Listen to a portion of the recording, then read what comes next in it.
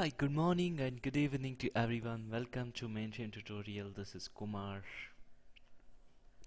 So, in my today's video, I would like to tell you about the COBOL plus DB2 compilation process. So, we all know that DB2 compile COBOL plus DB2 compilation process is very very important, and uh, I thought of uh, sharing my experience uh, and what are the various steps steps involved in this DB2 uh, compilation process. So let's go ahead and look into this. And it it also plays a very important uh, for the interview purpose. So what are the various steps we need to take here during this uh, in order to compile a COBOL or DB2 program?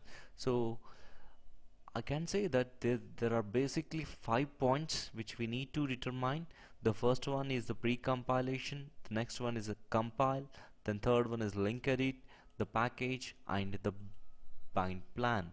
So these are the very very important steps for a COBOL to COBOL plus DB2 program when there is a COBOL plus DB2 program. So so first we will be looking into the what is pre-compile exactly and what is compile what is link edit what happens in the package and what happens in the bind plan. So initially we will give our COBOL plus DB a DB2 program as an input to pre-compile. Uh, it will separate it will separate all the statements uh, whatever the queries we return in the, uh, the I mean it will identify the queries uh, I mean the db2 statement separately and loads into a dbrm and it creates separate copy books and it is uh, it it creates another source code for this and there are various steps involved. So so I have drawn a chart for this. So so this will be the COBOL plus DB2 program and it will go to the pre-compiler and this pre pre-compiler section it uh, it expands all the copy books and uh, it replaces the statements I mean the DB2 statements with the source code and uh, the, with the call statements and it, it separates it. So here we will get get another uh, source code which has all the entirely code specific to the COBOL statements only. And we, here it creates a DBRM then it goes to bind then it goes to package then it plans. So these plan and this the output module are combined together then then your COBOL DB2 pre-compilation and the compilation is done. So I I think you couldn't understand much more with this. So I will give you a brief uh, brief description about each block what happens exactly in pre-compiler what is DBRM what is bind what is package and what is plan and when it goes to the compilation section when this is getting combined. So so the step one as I said there are five steps. We will discuss about the both all the five steps in this. The step one is the pre-compilation. Uh, the COBOL compilers doesn't know about SQL statement. With this reason the COBOL DB2 program has to be undergo with the pre-compilation process. I hope new, now you have understood why we need to go for pre-compilation. COBOL compilers will doesn't understand the SQL statement. So that is the main reason we are going for a pre-compilation. So this is the program we have IBM supply program that is DSN HPC it is the program used for pre-compilation. So we need to understand what happens in pre-compilation right? So let's see the background of pre-compilation. So one the first point is expands all copybooks declared in these uh, declared with include statements. Yes we will uh, send hence we will write and include statements in the COBOL program which with the queries and everything but it uh, it expands all the copybooks declared with include statements. Then validates table declaration used in DCLGen copy book. Then next it will check the syntactical errors on SQL statements and also validates the fields based on table declaration from DCLGen copy book. At the same time it extracts all SQL statements into DBRM and replaces SQL statements with COBOL call statements to have a standard COBOL coding. so that the COBOL compiler can understand the code so that's the reason it extracts all the SQL statements into a DBRM and replaces SQL statements with COBOL call statements and the call DSNHLI using uh, so the COBOL code which is replaced with call statements is called the modified source. So when I come back to picture, so here all the SQL statements are loaded into an a DBRM and all the modified source that is which we have replaced the SQL statements with the call statements that is called as a modified source code. So we are here. So the next one is uh, generates it generates the timestamps for both modified source and dbrm these are checked in runtimes yes see. See why it generates the timestamps you know? So here we are separating the COBOL object and we are creating a DBRM during the runtime it checks the timestamps of both uh, the COBOL modified source object program and the DBRM modified. So whenever it matches then only it can run the COBOL plus DB2 program. So that's the reason this is very very important. Note pre-compilation can be executed even if DB2 is down. So this is very very important. So the pre-compilation can be executed even if DB2 is down. Sometimes the DB2 uh, system goes up and go, goes down. So the one thing you are here you need to notice is DB2 is a separate subsystem from the mainframe system so where a multiple platforms can can retrieve the data from the subsystem system. So for example as a mainframe developer I am accessing the DB2 system with the help of COBOL programs. So in the same way there might be an, a Java system or a .NET system or any other system which will have an access to this DB2 system. That's the reason I am calling it as a DB2 as a subsystem in the co in the mainframe environment okay? So the next step will be the compilation. It is same as a normal COBOL compilation. It takes modified source as an input and compiles it. So the same thing happening here. It takes a modified source program and compiles it and it creates the object program. So what is a utility or I mean sorry what is a program? We call it as IGYCRCTL this is the program used for a compilation so the same thing happens COBOL, COBOL plus DB2 precompiler modified source then object program. So output of this compilation is object module. So next step 3 is link edit.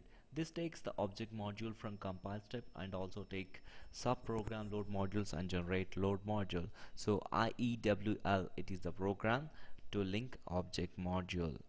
So so as I said as in the above you have saw the diagram, where it uh, we have a precompiled divides into DBRM and the modified source source. So at the end you need to link edit it. You need to link both the object programs and the DBRMs combined together. So IE IEWL is a utility or program which is used to link the object module. Okay so the next fourth important step in this DB2 COBOL plus DB2 compilation process is the bind. DBRM which is extracted in the pre-compilation is not an executable right I hope you understand this so in the above as we have separated uh, the COBOL COBOL modified source and a DBRM. The DBRM which is extracted in the pre-compilation is not an executable. It has to undergo through bind process which makes statements executable. So in order to make DBRM as an executable we need to go to the bind process. So activities of bind process are the first step is check SQL statements with the DB2 catalog entries yes check authorization of the programmer on the SQL statements. It will check the syntax errors of all SQL statements which are left by pre-compiler. It creates a package which contains optimized access path. Finally, it creates a package which contains optimized access path.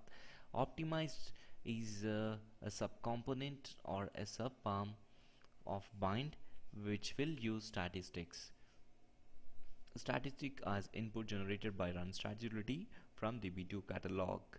So it's uh, we are what we are doing it is checking various sql statements uh, it is uh, checking for catalog entries and it is checking the syntax errors sql statements which are left of pre-compilers and finally it is creating a package which contains the optimized access path.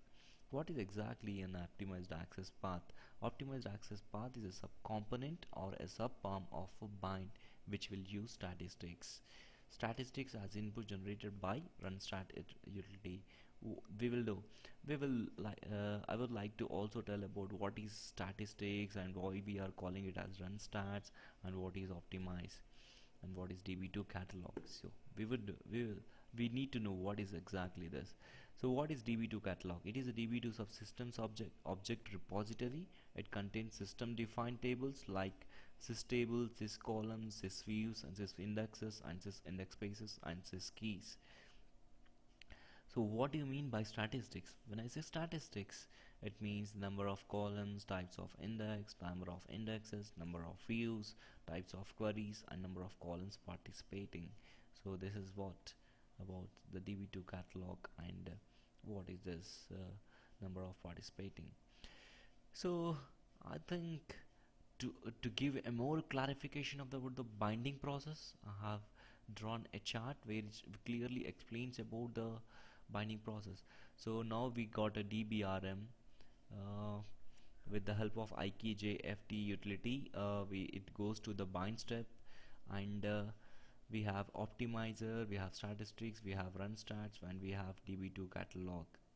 As i said db2 catalog is a db2 uh, subsystem object. It's a db2 subsystem object where uh, what this run stats will do is it extracts the information like statistics information number of indexes number of rows and uh, it gives the statistics information uh, to the optimizer. Okay? From here it will create a plan. Okay and above this plan there should be a package. It, there will be a package I missed it here. So this package now first what will happen is in the bind step first it will create a package then it will create a plan. So these plan are combined together into a load lib which is a runtime supervisor and the application plan. So in this way the pre-compilation or the db2 cobol plus db2 pre-compilations goes on. So to give about the syntaxes and uh, how the package and the plan and how do we run. So these are the various uh, these are the parameters which we pass in order to create a package. That is dsn system db2 table i mean the, the system name the package name and the program name here the uh, we, we have various parameter other parameters like isolation validate explain. And the same way plan we have db2 table name I mean the system name and the plan name and uh, the package list whatever you have given here you have to map it here. And the pro and the account and the isolation validate and explain. The finally here you will giving your program name and the plan name in order to run your COBOL plus DB2 program. Right? I hope you all have enjoyed this video and this would be very very very useful for the beginners or whoever is uh, attending for an any interview. Thank you for watching this video. Have a great and wonderful day